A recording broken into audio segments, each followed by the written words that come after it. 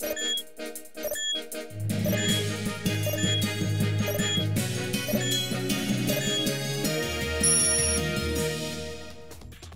Directores de las preparatorias de la Universidad de Guadalajara vincularon al candidato del Movimiento Ciudadano al gobierno del estado, Enrique Alfaro, con la Federación de Estudiantes de Guadalajara. Este señalamiento se da luego de que un diario local publicó este viernes que un candidato a regidor por Zapopan y presidente del partido Movimiento Ciudadano en este municipio, Osvaldo Sandoval, participó en la campaña de David Castorena, presidente de la FEC y quien hoy está prófugo de la justicia. ¿Hasta dónde cuando se está asociando con asesinos, con una organización estudiantil que ha agredido de manera permanente a la institución, que ha sido violenta, que nos ha de veras masacrado, porque no hay otra palabra para hablar del asesinato de los ocho jóvenes de la preparatoria 8,